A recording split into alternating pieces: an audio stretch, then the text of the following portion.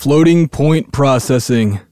This is a mysterious, legendary, and um, maybe boring topic. However, it's very important for you while you're mixing and mastering your tracks to understand what exactly it is and uh, why you should use it. So basically, most audio interfaces run at 24 bit integer or fixed point processing. Now, what that means is the math is fixed and um, it's actually, I don't really know exactly what it means, but I, I can tell you ex exactly what it'll do for you if you mix that way. So, what I'm going to do right now, I have this track right here. This is a master. Currently, it's a 32 bit file. That doesn't really matter, it's, it's floating point. Um, but what matters is how we're going to render it. So right now I have under File, Project Settings in Reaper, and under the Advanced tab, I have this on Track Mixing Bit Depth at 64 bit. Now what I'm going to do is change this fader right here, and I'm going to add a 100 decibels, which is ridiculous, but just bear with me here. So I'm going to render this out to a 64-bit floating point file.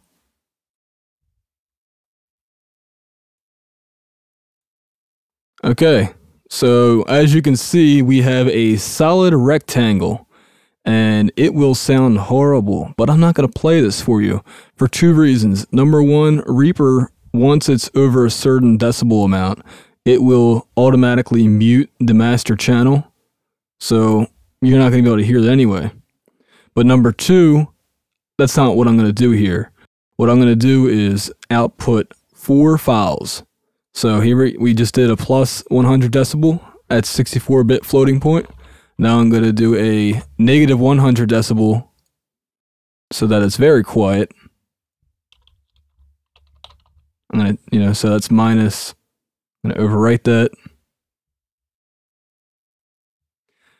Now, one thing I have to say though is there's a little confusion in recording, mixing, and mastering in the box.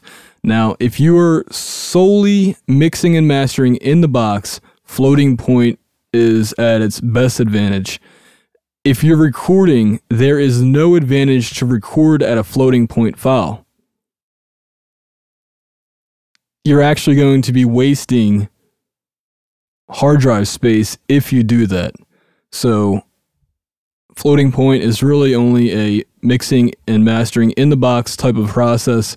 I don't recommend doing it any other way because when you have to interface with hardware or um, you know your, your hardware again is only usually 24 bit and as far as I know there are no 32 bit interfaces and even if there were it's not going to have the advantages of a software processor, as far as I know. And I'm specifically talking about the output. 24 bit is industry standard fixed point, not floating point. So now I'm back in Reaper, or I've been in Reaper the whole time, but now I'm going to switch it under preferences to 24 bit track mix uh, we're still at minus 100. Now I'm going to render it as a 24-bit file.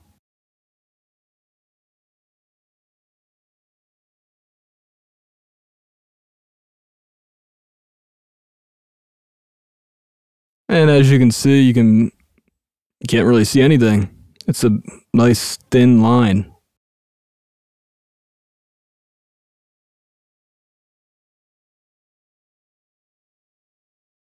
Another advantage of floating point is that your actual mix channels can be clipped and then as a last step you can bring your master track fader down. Whatever amount of distortions happening you know your your combined your combined clipping you know, once you play your file, it could say plus, you know, 20 decibels or whatever, which is a lot. I wouldn't, I wouldn't go that loud, but technically you could take that and have it sound still pretty nice. as you're about to see once I, uh, okay, so now I'm, I'm increasing that to 100 decibels. Again, I'm doing these extremes for a good reason here. Just so it's obvious the advantages. For real real world mixing, th- there are advantages. Basically, if I combine a bunch of 24 bit processes or plugins in a chain, the math as it's adding up and rounding imprecisely, you're going to have more errors, which result in um, truncation, aliasing. It's just nastiness that is bad digital audio. You don't want that. Okay, all those files are exported now. I still have my original track up here. I'm going to import them.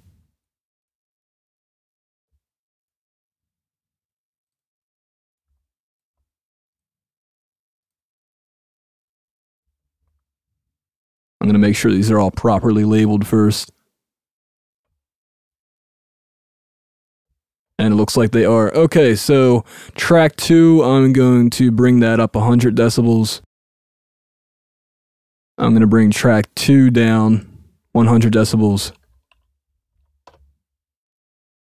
Uh, track three, 100. And track four, minus 100 decibels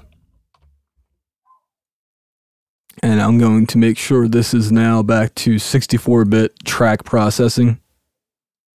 Otherwise, this will make no sense. Okay, so this is 24-bit. I'm gonna actually I'm gonna play the original first.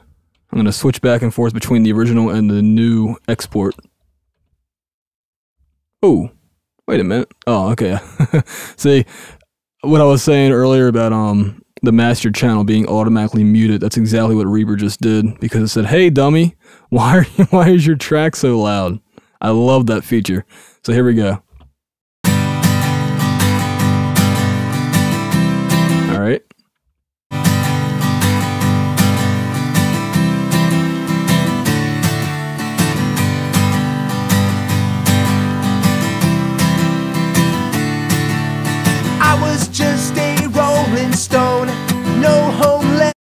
All right, now let's compare that to the 64-bit file down here. And here's the original now.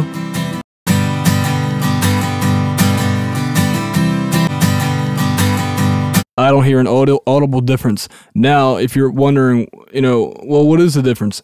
If you can't hear it in the 24-bit file, there's some fuzziness, there's noise that's a result of 24 bits dynamic range being at 144 decibels, I believe. That's the noise floor. And if you can't hear the difference, it's there. And if you if you put some headphones on, you can definitely hear it more, which a lot of your listeners will be listening through headphones or earbuds. And now here is the difference to make it audible for you. I'm going to uh, phase invert track two. And so these are the two tracks I want to compare. And I'm going to bring this up a little bit.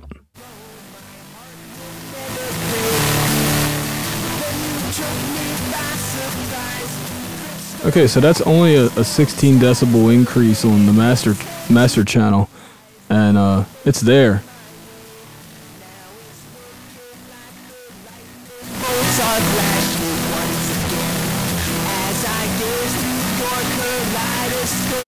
And actually, just to compare it to the original, I hope this works. Yep, there it is.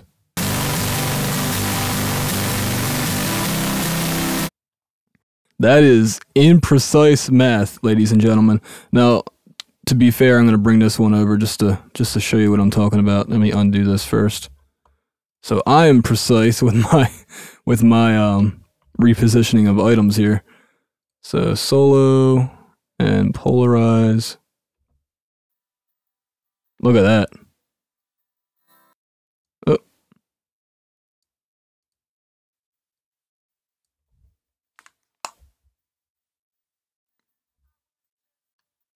I I can't even hear anything on uh on my speaker here. So I don't know if that's a.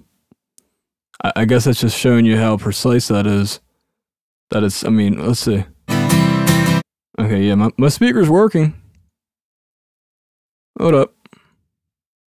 Something's going on here. Okay, so measuring.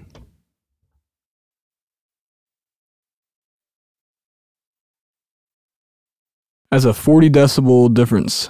So let me, I'll try to bring that up.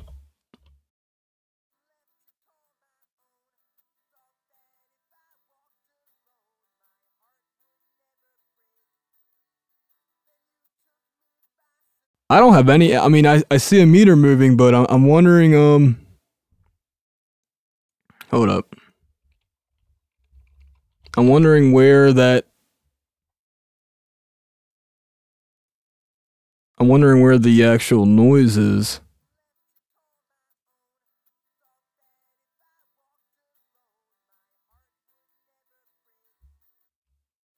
It's not even registering. All right, you know, I have another idea. All right.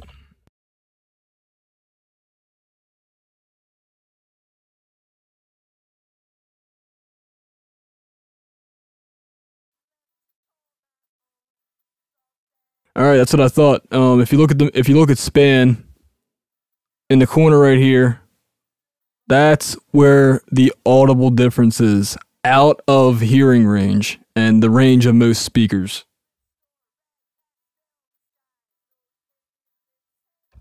That's why I can't hear it because it's above my my hearing level. Um, all the aliasing and distortion noise is thrown to the wolves or and, and eating and gobbled up by um now your dog might be able to hear this. But uh yeah i mean that again this is me bringing up the i mean that that's that's incredible. Floating point can do some cool things. Now here is the noticeable difference blatantly noticeable i'm gonna i'm gonna bring this back over to where it was approximately Actually, it doesn't matter. I'm, I'm not to use that anymore anyway. Okay, so these are the files that were brought up very, very loud, and now they're brought down. I'm to end up having to bring this up a little bit louder, but for right now, yeah, you can't hear it yet. Now you can. Oh, that sounds lovely. That's some heavy metal. take this off oh, before I forget.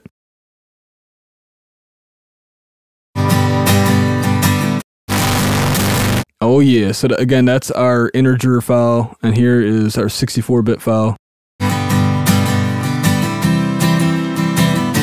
Now remember, this was clipped. Look at it. Look at both these files. These are these are rectangles. You know, solid rectangles.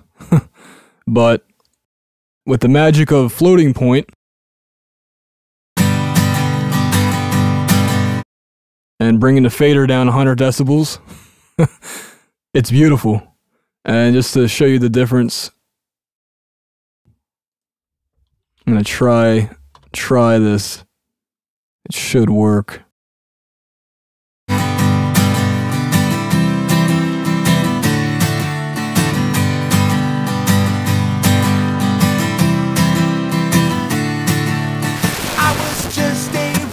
I don't need to show you the difference. You can hear it. Jeez. Horrible. Just absolutely. Oh, I'm sorry. I didn't mean to hurt your ears there. Yeah, just absolutely horrible. Integer, you know, once you clip it, it's clipped. And I mean, you can bring it back with certain programs, but it, it's it's never as good as this lovely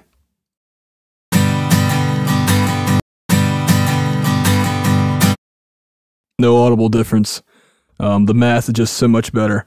Now, again, do not record into a floating point file and think that you can distort your channels or clip your channels during the recording phase. It's not going to happen. It will sound horrible. you can only do whatever your interface allows. And in this case, your interface is 24 bit or maybe it's 16. Who knows? Regardless, and this is this is a myth. Recording into floating point will not get you the same benefits that you get while mixing and mastering. It's not the same thing. There's no advantage to it. There's a big disadvantage in the file. The file um, size of a 64-bit file or a 32-bit file is bigger than a 24-bit file. So my suggestion, and this is what I do every time I record, record at 24-bit. And if you are bouncing tracks, if you're freezing tracks, or if you are rendering tracks that will be mastered, then use floating point. A lot of mastering houses support floating point files. I would send a little short, you know, one or two second test file to your mastering house if you're having somebody else do it. Send them that file, a short little file, just to make sure they, they can support whatever your DAW's floating point output is. Absolutely floating point is the way to go when mixing in the box. If you're using hardware, then you need to keep your gain staging proper and that will i'm going to talk more about gain staging and proper recording levels and all that in a separate video. But for now just listen to me when i give you the advice of use floating point math. There's no reason not to unless your DAW doesn't support it so again, floating point, 32 bit or 64 bit, awesome. The only other problem you'll run into is if you are using a plugin that doesn't support 32 or 64 bit floating point, you have to check your software manuals for that. You know, RTFM, read the effing manual is always good advice. And in this case, it'll, it'll, it'll probably tell you like on the last two pages under tech specifications whether or not your um, plugin is 64 bit or 32 bit, or if it's double precision, more than likely it's 48. But 48's even 48 is better than 24 bit. So if your if your plugin supports double precision, then you're better off. But floating point is by far the best. And uh, I don't think we're going to go any farther past 64 bit. There's nobody out there who's distorting or, you know, making their their track go down 100 decibels but you know the point of this video was to show you once your processes start adding up and the math is getting ridiculous you're going to have errors in your audio if you're mixing at 24 bit. And this is becoming less and less of an issue but if you're using older software it still is an issue or if you're using plugins that aren't floating point it can be an issue because your your software will have to down convert or down sample and then upsample after your plugin is, is done doing its thing. So anyway, sorry to bore you, but this is very important things when you're mixing. If you're looking for a clean chain, good times, and uh, that's about it. I, I don't know what, anything else to say on the topic that, without going into tech stuff that really doesn't matter to somebody recording and mixing music. So this has been Adam from realhomerecording.com. I will see you in the next video.